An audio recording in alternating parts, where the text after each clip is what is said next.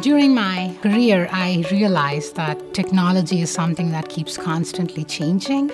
And the one thing that we need to do to keep up with the market is to keep upgrading our skill sets. Doing quantitative economics is something that can really be applied to anything. A lot of different industries, businesses, they want people who understand numbers and who understand data and who understand what data tells you. And being trained in that way is valuable. I joined in as a part time student because I'm a full time professional. Actually, seeing those numbers make sense and deriving insights out of those numbers, it's pretty challenging. It's, it's very thrilling, actually. With this program, you get an understanding of how to work with that technical knowledge and how to translate technical understanding into actual, measurable, tangible results. It's real world, it's applied.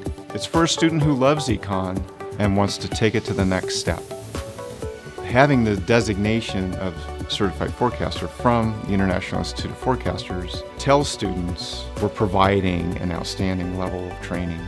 We learn about not only the theory behind forecasting and what it does, but also then we go to actual software and we learn how to do the forecasts. You just gain so much. The ability to say, like, I have a master's, I'm confident in my quantitative abilities and in my theoretical abilities, that's a, a huge thing. It's all up to you. How much do you want to learn? There's just no limit.